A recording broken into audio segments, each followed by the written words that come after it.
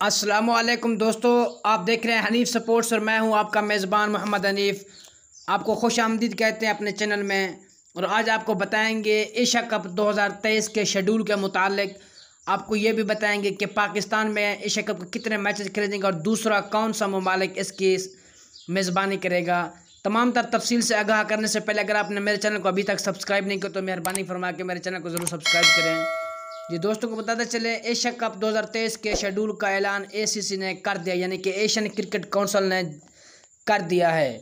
आपको बताते चले एशियन क्रिकेट काउंसिल ने हाइब्रिड मॉडल पर महीनों तवील बहस के बाद पाकिस्तान की मेज़बानी में होने वाले एशिया कप 2023 के शेड्यूल और मकाम का ऐलान किया है।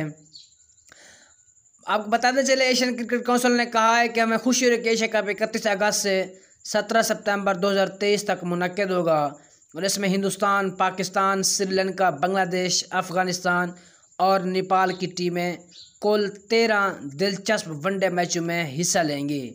आपको बताते चले कि भारत की शदीद मुखालफत के बावजूद टूर्नामेंट की मेज़बानी हाइब्रिड मॉडल में की जाएगी, जिसमें चार मैचेस पाकिस्तान में होंगे और बक्या नौ मैचेस श्रीलंका में खेले जाएँगे।